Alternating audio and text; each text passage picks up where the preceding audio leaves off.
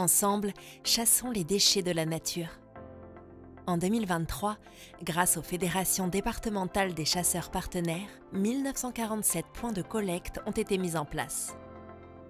Sur le terrain, vous étiez plus de 89 000 participants, ce qui a permis de collecter 9 867 mètres cubes de déchets.